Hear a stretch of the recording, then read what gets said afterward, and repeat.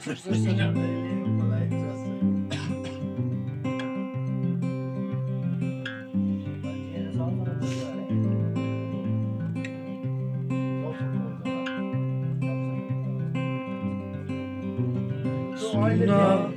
एउटा कुरा भन्न चाहन्थे म तिमीलाई।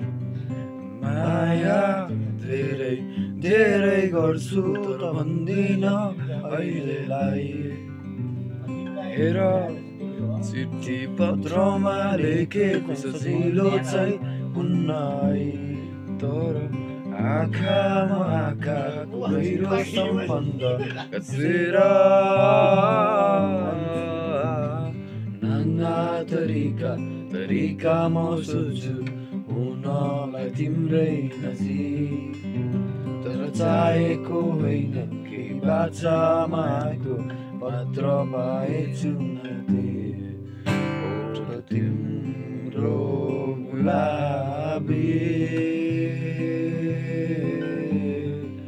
ओठ तिम्रो गुलाबी। तिम्रो